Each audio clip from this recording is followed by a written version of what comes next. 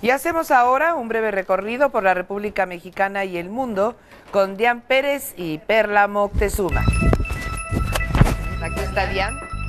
Adelante, Dian.